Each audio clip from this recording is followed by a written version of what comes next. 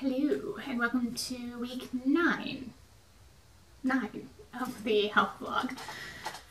I will say out straight that I gained one pound from last week. I now weigh 197.2 pounds.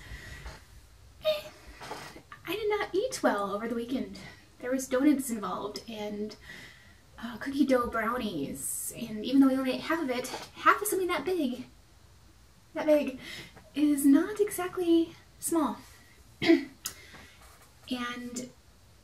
I ate right up to the limit of all my calories both Saturday and Sunday because I was just hungry and I think it was the donuts fault because it got my want going so. Oh well but it is what it is and I gained a pound lesson learned.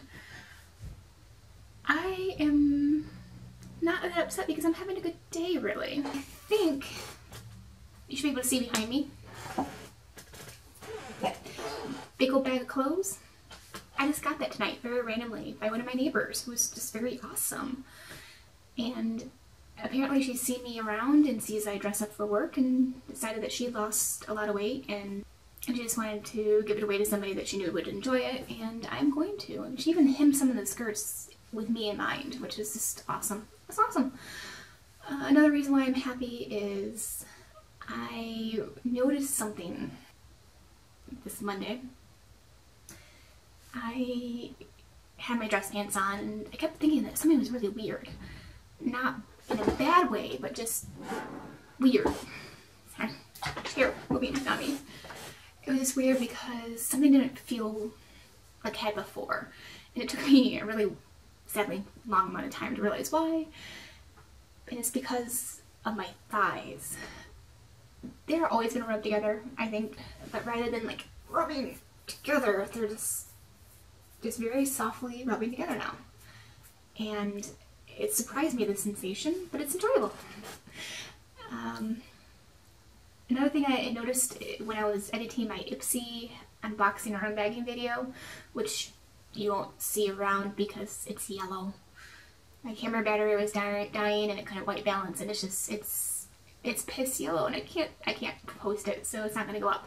But as I was editing it, um, I was doing a lot of looking at my phone for pricing information and I'm noticing that I'm getting my cheekbones back. And I hadn't realized how much I missed them. I'm getting my cheekbones back. Hmm. So for last weekend my goal was to do the 10 items, 5, five, five items on Saturday and 5 on Sunday in the pantry, the fan cave, the walk-in closet, and to go over my dresser. Dresser's good to go now phone in. Um, and, but I completely forgot to do this until Sunday. I'm not doing very good on that. I got my 10 items in each of the three rooms, the pantry, the fan cave, and the closet, and things are looking better. It still has ways to go, so again, I have the five items Saturday, five items, item, five items on Sunday, or just 10 items for the weekend if I forget to do it again.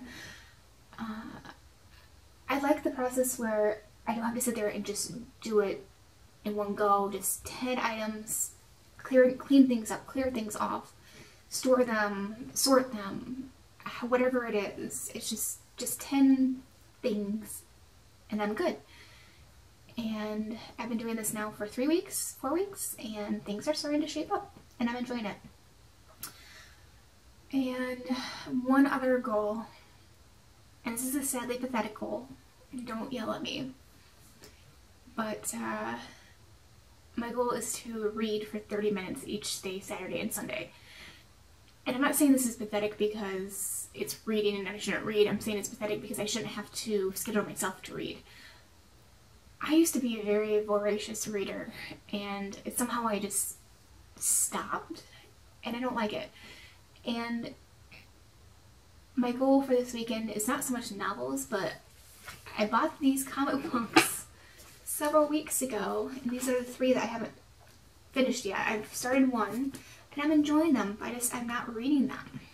So I want to take the time, 30 minutes each day, Saturday and Sunday, to sit down and do some reading. And hopefully that means maybe I'll finish this one this weekend, uh, and maybe I'll go beyond the 30 minutes. I need to get my nose out of a TV and out of my, my phone and my Kindle playing games and I need to read. Eventually I'm going to get back into reading novels. So if you haven't caught the clue yet, this 30 minute thing is going to be an ongoing goal. I'm going to wrap this up because I'm rambling. I always ramble.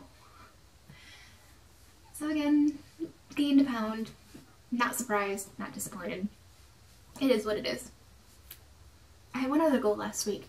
That was to do 550 calories burnt on the elliptical on Saturday, and I did achieve it, but I had to butt up right against the 60 minute mark. Um, I think that had to do with the donuts I'd eaten the day before, like my body wasn't wanting to let go of those calories. So the goal for this Saturday is 600 calories, even if I have to go above 60 minutes, 600 calories. Um, now I'll wrap this up. But there is one, I guess, how am I going to say this? There's one new feature of this vlog that's going to be ongoing but ever growing. And what it is, is my, the snapshot that I take to put at the front of each video, or to be the, the still for each video, I'm going to put in a clip of each one going from week one now up to week nine. And that's really for me, because I had gone through the videos this past weekend, or not the videos, but the pictures this past weekend.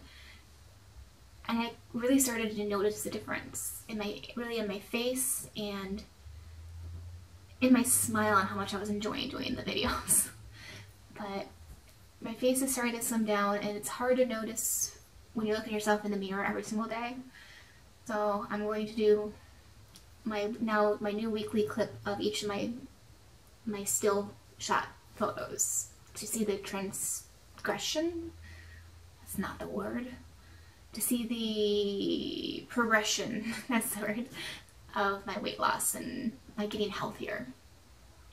So,